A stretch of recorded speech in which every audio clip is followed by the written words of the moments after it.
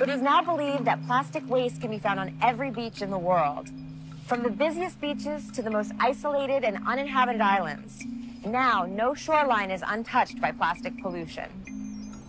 And if the current rate of global production continues, there could be more plastic than fish by weight in our seas by 2050. Here in British Columbia, people have decided enough is enough and are taking strides to stop the tragic destruction of our oceans. Ocean Legacy is a local foundation whose aim is to tackle the growing problem of plastic pollution along the 25,000 kilometers of coastline here. Chloe Dubois is one of the founders. I'm Juliana. I'm Chloe. Nice to meet you. Okay. All right, let's do it. All right. Tell me first. Ladies first. The British Columbia coast is made up of deep inlets and rugged island shorelines, so helicopter travel isn't just a joyride, it's essential. Today we're headed to the Clayoquot Sound and one of the 40,000 islands that dot the coastline here. These terrains are a bit tricky. Um, it's really hard to tell just how much debris is actually here because of the logs and rocks. We could spend years cleaning this island alone. It's being estimated that there's about 5.25 trillion pieces of plastic in the ocean right now, and a lot of those pieces are free to move wherever they want around the planet. Aside from, you know, the unsightliness of pollution on these gorgeous beaches, what kind of problems do plastic pollution cause? When plastic reaches our oceans, it tends to act as little sponges. So any chemicals that are in the water, it will begin to absorb these chemicals in the plastic pieces.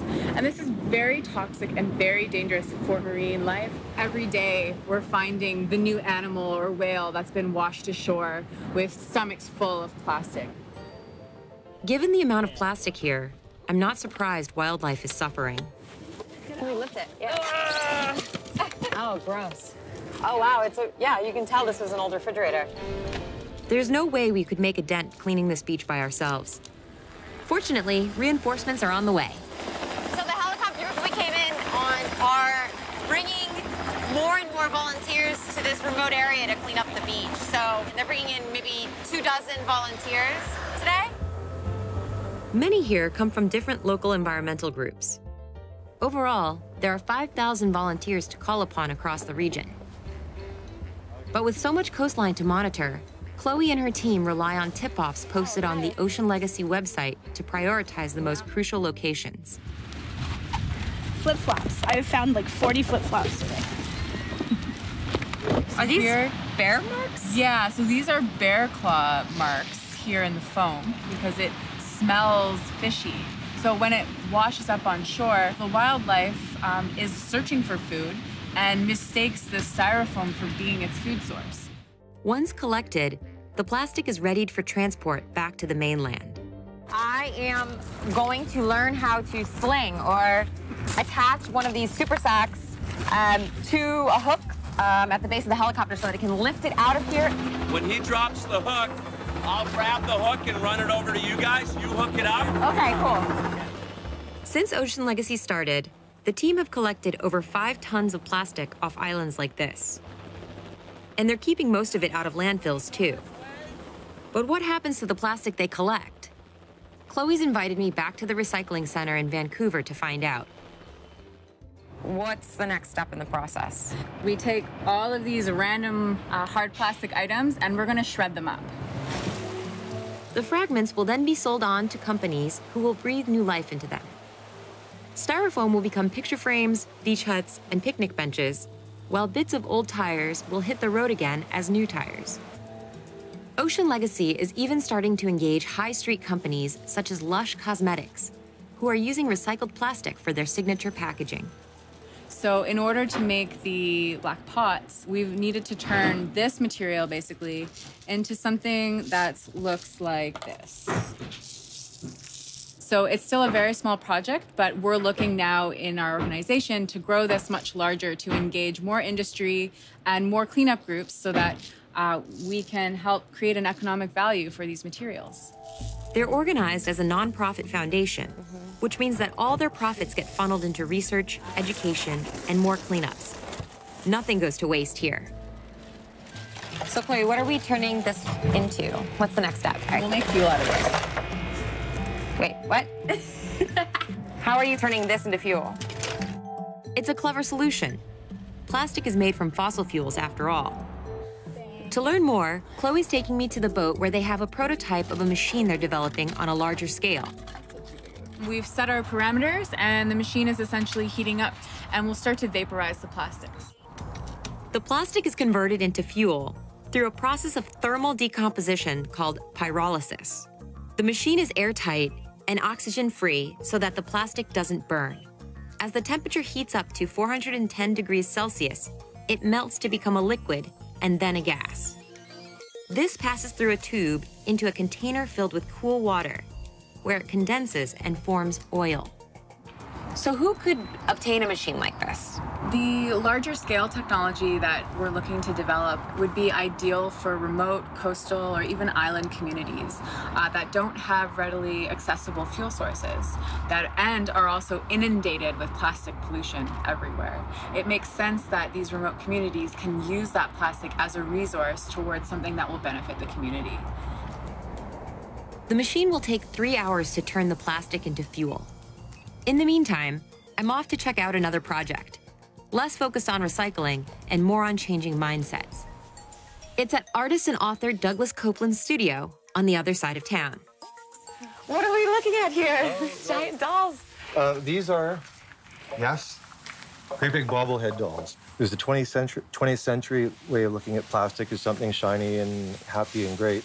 Then there's like the reality in the world right now and how we're adjusting to that. And so these guys here, uh, plastic boy, plastic girl, uh, they will be representing the future. These figures are part of Douglas's installation at the Vancouver Aquarium, and I'm getting them ready for their debut. Do you like your new outfit? Oh my God. He says, eh, look at that. Look at that. Douglas is using 11 tons of ocean plastic in his show. What inspired you to create this installation piece? I grew up north, this place called Queen Charlotte Islands. About four years ago, I was up there, and plastic bottles were suddenly washing up on my sacred beach. And it ah. really, it was like an evangelizing moment for me. Mm-hmm. So I thought, well, let's make an image of the trash, but one which has a bit of sort of emotional, like tingle to it, I guess. Coupland isn't pretending to offer solutions, but he is hoping to engage audiences who ordinarily wouldn't stop to think about the problem. And ultimately, he's hopeful we can turn things around before it's too late. I'm heartened by the energy British Columbia is putting into tackling the problem of plastic pollution. Before I leave, I want to return to the Ocean Legacy boat to see how much fuel the machine has produced. So I'm seeing different colors. Is this the mixed oil separating into different? It is, Fuels? yeah. So what's going to be coming out of this machine is a mixed oil. And in that oil, we can separate into kerosene oil, diesel fuel, and petroleum products. So you can make electricity from it, uh, power your lawnmower, heat your home. How are you using this fuel? Currently, we're not making enough of the fuel to use it in a practical application. Um, so this is just our small pilot. But we've really got the world's interest right now in launching these units worldwide. The fuel will emit greenhouse gases and other pollutants, but at least it takes plastic out of circulation and reduces the need for fossil fuel extraction. So, can we use it in this ship? Well, yeah, let's do it. Okay. Into the hold she goes. Ready? Yeah. That sounds good. This ship is running on plastic. To think, it's the same plastic that we picked up off the beach. It's incredible. Ocean Legacy are planning to roll out these machines starting in British Columbia in one year's time. They aren't the first organization to try to turn plastic into fuel or to recycle it. But what impresses me about Chloe and her team is the determination which drives them to take a multi pronged approach to tackling plastic pollution. It's a problem that won't go away if we continue to use and discard such huge amounts of plastic. But what I've seen here gives me hope that if other groups around the world were to work in similar ways, it could be possible to make a real difference.